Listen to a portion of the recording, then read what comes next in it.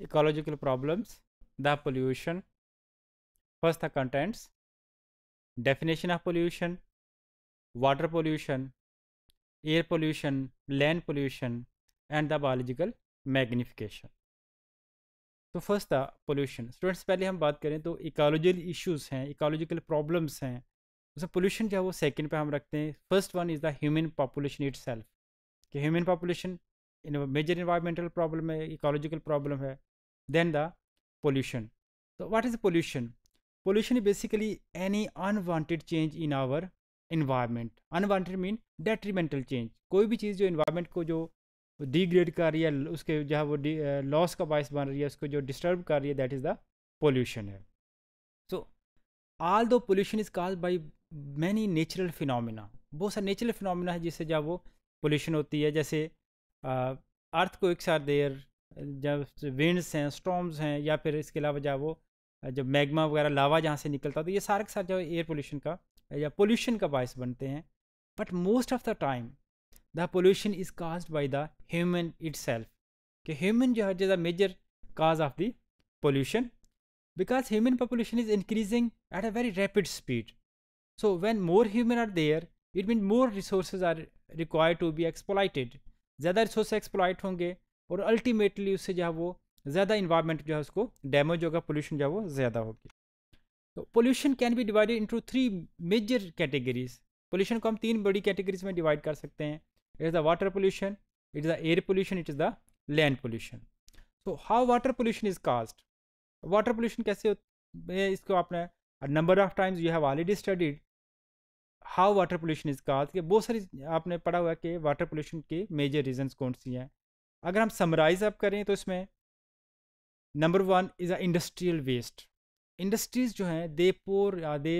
throw the toxic waste into natural water bodies rivers के अंदर streams के अंदर. इसके अलावा बहुत सारा इंडस्ट्रियल वेस्ट जो होता है वो नीचे सीप डाउन करके ग्राउंड वाटर को जो है, उसको टॉक्सिक बना रहा है, उसको जो है पोल्यूट कर रहा है. The second one is the sewerage waste तो सीवरेज वेस्ट जो है if you look at this one तो many cities they throw they are sewerage waste into the rivers into the streams तो बहुत सारे जो है वो, जो जितना सीवरेज वेस्ट सिटीज़ का है ह्यूमन पॉपुलेशन का, वो सारा इसका डायरेक्टली जो है वो without treatment that is thrown into the natural water bodies तो जिस वाटर के अंदर सीवरेज वाटर डाला जाएगा दैट विल गेट पोल्यूटेड क्योंकि सीवरेज वाटर जो है it carry a lot of toxic compound it carries lot of pathogens with them तो बहुत सारे पैथोजेंस जो हैं इसके अंदर शामिल हैं। अगर हम बिग सिटीज़ की बात करें, जैसे लाहौर, इस्लामाबाद फैसलाबाद या इसके अलावा जो बाकी बड़े बड़े शहर हैं उसके अंदर तो ज़्यादातर शहरों के अंदर जो वाटर है ये ड्रिंकिंग के काबिल नहीं है। इसको आप यूज़ नहीं कर सकते हैं for drinking purpose the reason is कि जो टॉक, जो जितना भी म्यूनसिपल वेस्ट है या फिर इसके अलावा कह सकते हैं कि जो सीवरेज वाटर है, सीवरेज वेस्ट है दैट है got mixed with the natural water.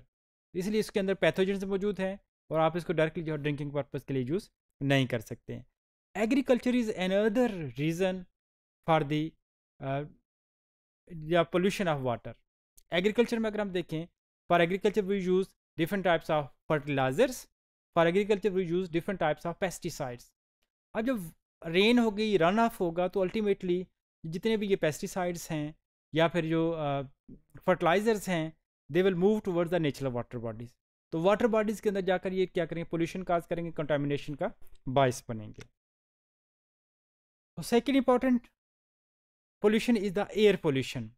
how the air is getting polluted अगर हम नेचुरल इन्वायरमेंट में देखें specially when human is utilizing the fossil fuels fossil fuels use कर रहा है, या फिर डिफरेंट इंडस्ट्रीज़ जो हैं, वो बड़े toxic gases they are releasing into the air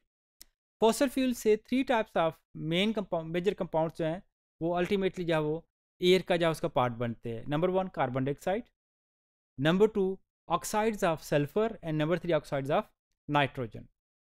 so अगर हम सल्फ़र और नाइट्रोजन के ऑक्साइड्स की बात करें both of them are ultimately converted into sulphuric acid and the nitric acid दोनों जो है वो सल्फ्यूरिक एसिड नाइट्रिक एसिड में कन्वर्ट हो जाएँगे। ये sulphuric acid nitric acid they will come down to the earth in the form of acid rain or acid precipitation and they will destroy the vegetation they will kill the animal life present on the earth so this is the major problem carbon dioxide is also a major pollutant of earth of our air carbon dioxide किस तरह से although carbon dioxide required for photosynthesis but when this of carbo, carbon dioxide is exceeding, it is working to it is working like the greenhouse तो ये green house की तरह affect करेगी। Green house का मतलब ये होगा कि जिस तरह से हमारी एक कार है, उसके अगर जो ग्लासेस हैं, वो सनलाइट को अंदर तो आने देते हैं, उसको बाहर नहीं, उसकी हीट को बाहर नहीं जाने देते हैं। तो इसी तरह से जो कार्बन डाइऑक्साइड है, जो सनलाइट आ रही है ज़मीन की तरफ़, उसको इंफ्रारेड वेव की फॉर्म में वापस या वो स्पेस में नहीं जाने देती है। तो ultimately the temperature of earth is increasing जब टेम्परेचर ऑफ़ अर्थ हो इंक्रीज करे तो अल्टीमेटली से हमें ग्लोबल वार्मिंग जो है उसका इशू सामना करना पड़ेगा। Third type of pollution is the land pollution land pollution mean how our soil how our land is getting polluted soil या लैंड किस तरह से पोल्यूट हो रही है, इसके डिफरेंट जो रीजन्स हैं। ऑयल स्पिलेज बहुत सी जगह जहाँ ऑयल स्पिलेज हो रही है। प्लास्टिक्स हैं ह्यूमन जितना भी इसके मोस्ट ऑफ़ अगर हम देखें, हमारे रैपिंग्स हैं, जो कुछ भी है, वो प्लास्टिक्स के होते हैं। तो प्लास्टिक जो होते हैं, वो अल्टीमेटली हमारे लैंड जो उसको बैरन कर रहे हैं। Then the pesticides pesticides are use for the agriculture purposes toxic industrial waste बहुत सारे इंडस्ट्रियल वेस्ट होता है, जो सॉलिड फार्म होता है, उसको जब वो डंप किया जाता है तो वो सॉइल के साथ मिक्स अप होकर सॉइल जो उसको टॉक्सिक बना रहा है। Then the household waste building leftover material all these things, they are actually polluting our land or the soil. So, what is the effect of the pollution overall? Pollution के बहुत सारे effects हैं। Air pollution की वजह से अल्टीमेटली हमें respiratory disease होंगी। वाटर पोल्यूशन की वजह से तो almost all most of the disease जो होती हैं वो वाटर पोल्यूशन से होती हैं। तो one of the important phenomena due to pollution is the biological magnification biological magnification is a process in which different toxic compounds which are present in water which are present in soil they are absorbed by the plants these plants they are eaten by the herbivores and ultimately human utilize those herbivores तो human जब plants खाता है या herbivores खाता है तो toxic waste होते हैं they are stored in human body अब जो टॉक्सिक कंपाउंड्स होते हैं मोस्टली ये डिग्रेड नहीं होते हैं they remain accumulating within our body ये अकामुलेट होते रहते हैं अकामुलेशन के बाद। एक टाइम आता है कि इनका लेवल हमारी बॉडी की टॉलरेंस रेंज से ज़्यादा हो जाता है। जिसकी वजह से different types of neurological disorders different types of physiological disorders जो है वो होते हैं। तो biological magnification is the process in which the toxic compound they come through food chain to the human or other tertiary consumer and they accumulate within their body, and their concentration become very high